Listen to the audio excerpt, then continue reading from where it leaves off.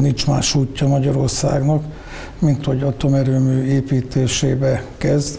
Ezt az élet egyre inkább igazolja. Most igazolják az Európai Uniós határozatok, hisz az Európai Parlament is hozott egy határozatot többséggel, hogy a klímavédelmi célkitűzések nem érhetők el atomerőmű építése nélkül. Mondta el Süri János bővítésed felelős miniszter a Telepaks legújabb Szinergia című műsorában.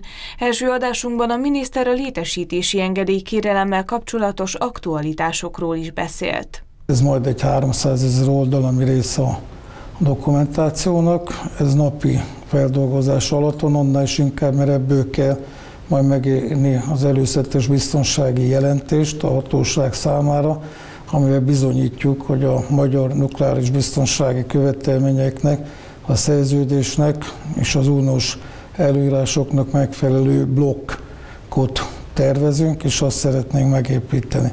Süli János emlékeztetett rá, hogy a felvonulási területen már dolgoznak a munkagépek, kiemelte, hogy a felvonulási épületek kivitelezésébe alvállalkozóként bekapcsolódni jó ajánló levél lehet az erőműépítés során.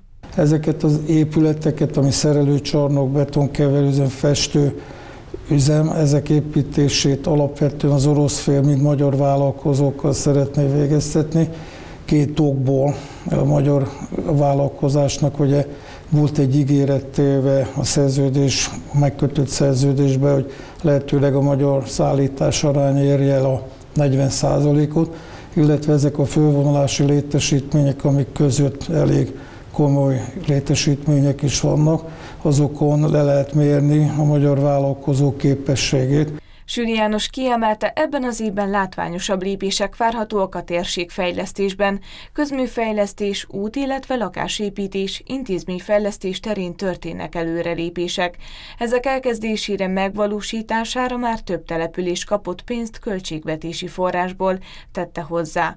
Szinergia című magazinunkkal havonkénti rendszerességgel jelentkezünk aktuális gazdasági, energetikai, környezetvédelmi, térségfejlesztési hírekkel és eseményekről szóló beszámolókkal. A 19 óra 20 perckor a híradó után jelentkező műsor megtekinthető lesz a www.telepax.hu weboldalon.